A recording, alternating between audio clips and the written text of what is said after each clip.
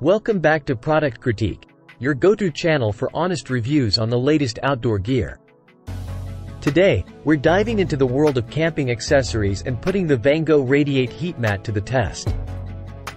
If you're tired of chilly nights in your sleeping bag, stay tuned to see if this product can keep you warm and cozy.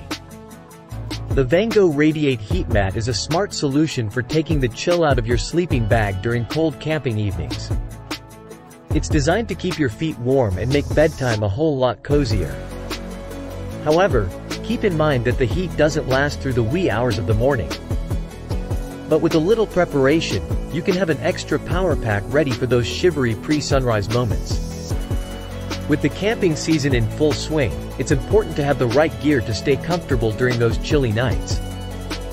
If you don't have the best sleeping bag, tent, or camping pad for the shoulder season, you might find yourself feeling the freeze when it's time to climb into bed.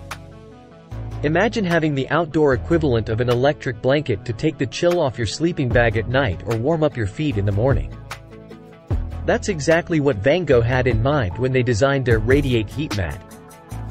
To test its effectiveness, I took the Radiate Heat Mat on a camping trip during sub-zero temperatures. Most camping enthusiasts don't own specialized winter gear, so I used a three-season sleeping bag, camping pad, and tent. I relied on the Radiate Heat Mat to keep me warm and cozy. The mat incorporates a flexible graphene element that is heated by a power pack. You can choose from four settings using the button on the mat. The highest setting provides the most heat, while the lower settings offer longer lasting warmth. During my winter sleepouts, I truly appreciated the Radiate Heat Mat. Placed at the bottom of my sleeping bag, it effectively warmed up the entire bag, making me feel relatively toasty. I initially set it to the highest setting to pre-warm the bag, then adjusted it to a lower setting before sleeping to conserve power.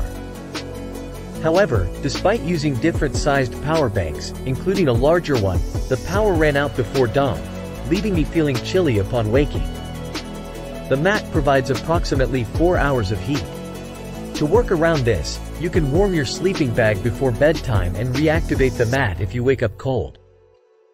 Another option is to have a backup power bank. But keep in mind, these solutions may disrupt your beauty sleep.